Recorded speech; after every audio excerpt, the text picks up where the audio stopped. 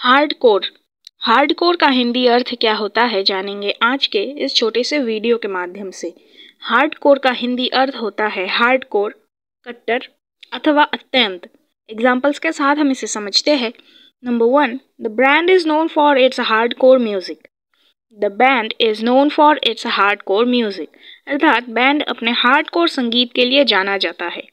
Number two he is a hard core fan of the football team he is a hard core fan of the football team अर्थात वह football team का उत्साही प्रशंसक है।